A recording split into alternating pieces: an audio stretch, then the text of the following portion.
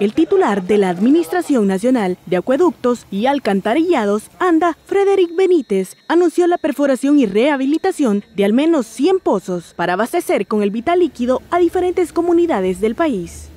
En la institución de ANDA hemos rehabilitado y perforado alrededor de 120. Este es el primero de los 100 que tenemos que rehabilitar en este segundo año de gestión y la inversión que hemos hecho aquí ronda los 380 mil dólares, en donde consiste la perforación de un pozo nuevo, equipamiento del mismo pozo, cambio de subestaciones y el caudal que hemos encontrado es de alrededor de 800 galones por minuto. Según el funcionario, con el nuevo pozo, ubicado en la colonia La Sultana de Antiguo Cuscatlán, se podrá abastecer a 3.500 familias de la zona. Este pozo va a mejorar el casco urbano de Antiguo Cuscatlán, va a mejorar también la parte de Santa Elena, también va a mejorar la parte de la calle Siemens,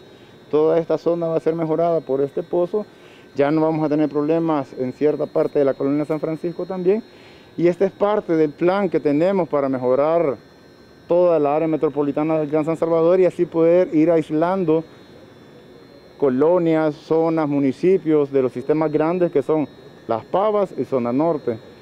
Se pretende que este pozo pueda sacar los 450 galones de agua por minuto, pero se espera que el abastecimiento de agua sea mayor en los próximos días.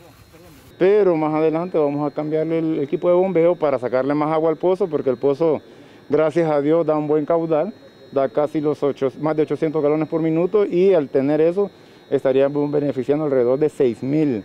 viviendas o familias, como lo quieran llamar. Exactamente. Ahora los habitantes de estas comunidades ya tendrán en sus hogares el servicio de agua potable, tomando en cuenta que también será un aporte para mantener las medidas higiénicas y evitar contagios por coronavirus. Este es un informe de Tatiana Corado para Punto Noticias.